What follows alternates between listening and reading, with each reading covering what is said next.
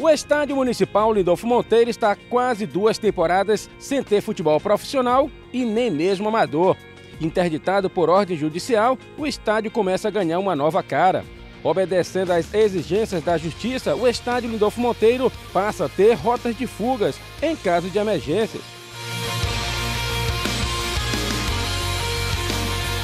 São quatro portões que servirão de saída de emergência. A grama está sendo aparada e a área externa e interna também estão ganhando nova pintura.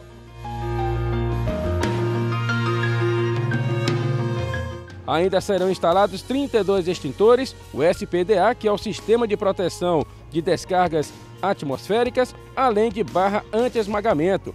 A última vez que a bola rolou aqui no Estádio Municipal Lindolfo Monteiro foi no dia 27 de abril de 2014. Na oportunidade, jogaram pelo retorno do Campeonato Piauiense Flamengo e 4 de julho. Vitória do Flamengo, gol de Joniel. Agora o estádio está passando por reformas. Serão 90 dias. 60 dias já se passaram. 75% da obra já foi concluída.